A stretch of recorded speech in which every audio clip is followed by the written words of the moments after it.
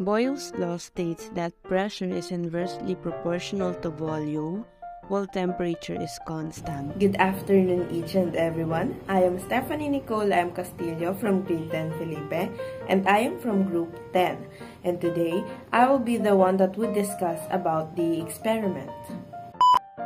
is Rafael M. Yagil And my name is John Mark Eulalio. We would need syringe and marshmallow. We would remove the syringe needle because it is dangerous. Now, let's proceed at the experiment.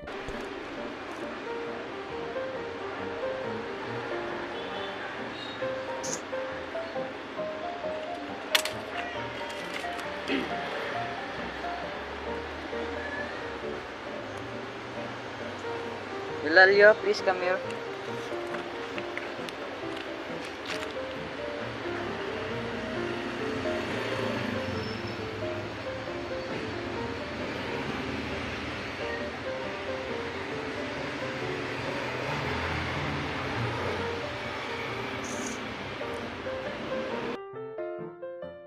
And now, let's take a closer look.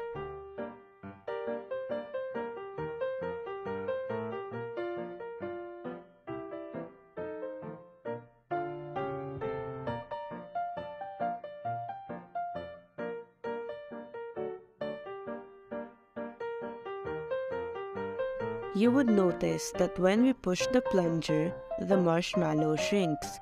That's because the pressure becomes higher and the volume becomes lower.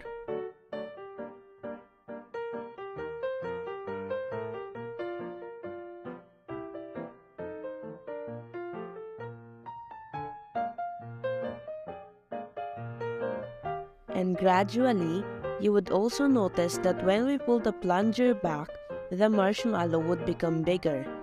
It's because the volume of the marshmallow increases and the pressure becomes lower.